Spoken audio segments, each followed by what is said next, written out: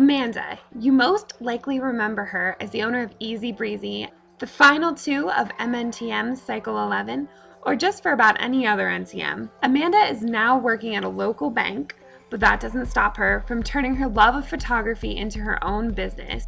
AM Sears Photography in Boise, Idaho. With her photography, she has gotten to travel all over the world. But somehow, with all of that, she's still managed to find the love of her life, and they've been together for over three and a half years. Best of luck, Amanda! So, you want to see more Where Are They Now videos? Make sure you subscribe to youtube.com slash candyapple ntm for more.